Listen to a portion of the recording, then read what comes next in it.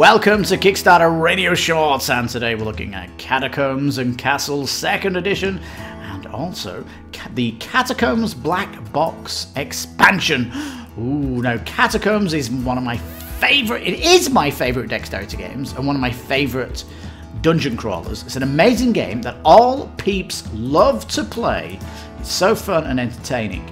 Now, its brother, Castles and Catacomb and Castles, is back with a 2.0 version that can be combined with the Catacombs 3rd edition and the wonderful black box that extends Catacombs 2, which I can't wait to pick up because I love it.